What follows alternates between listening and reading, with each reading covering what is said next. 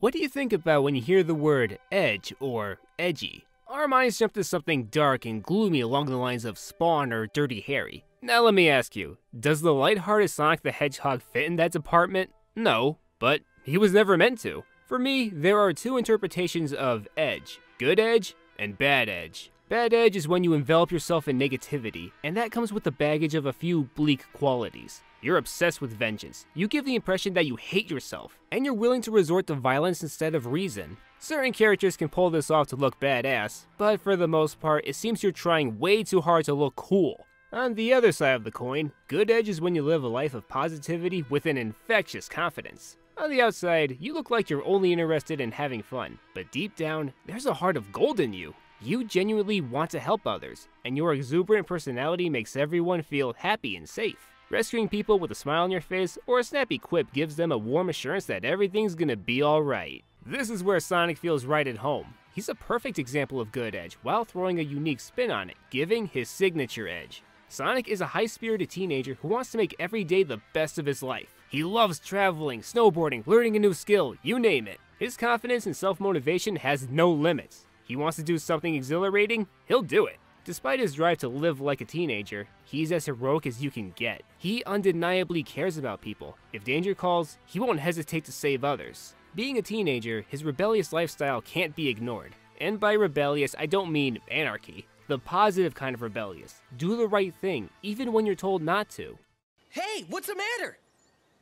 Are you lost or something? A great big dragon attacked my village. A dragon? It took my mommy and my daddy and everybody away.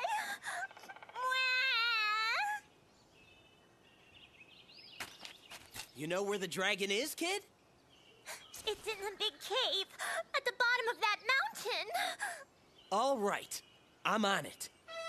Wait, don't tell me you're going off to slay a dragon now. Yes, we are. What of the ladies' tests? You will never make it in time. Yeah, maybe, but I play by my own rules. Remember that. You fool. Hang in there, kiddo. I'll get your folks back.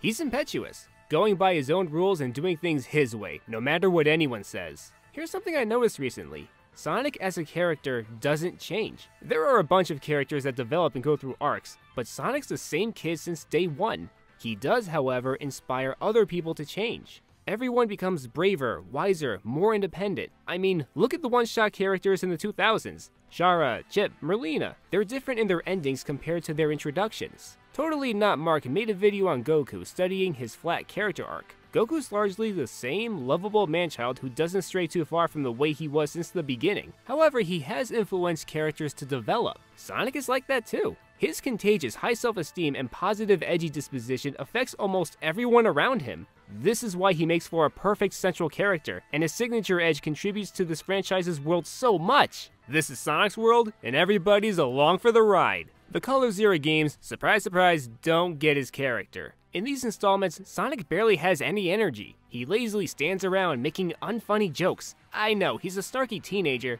but you can't do the bare minimum by giving him a witty remark with no action. He's not cool, he's annoying and lame. On top of that, he only affects one character, the mute avatar in Sonic Forces. These games, prior to Forces, prided themselves at being a perfect fit for little kids. But the way Sonic was pre-2010s made for a good role model for children. Be confident, tackle your problems head on, go snowboarding like you always wanted to. Don't shy away from learning something new or getting out of your comfort zone. You have only one life, so live to the fullest. This is what separates Sonic from the more traditional video game protagonists like Mega Man, Simon Belmont, and of course Mario. Sonic's signature edge is his ultimate power. It pushed him to be the best of himself at a young age, and it continues to change the world around him. That's how he rolls. He's Sonic. Sonic the Hedgehog.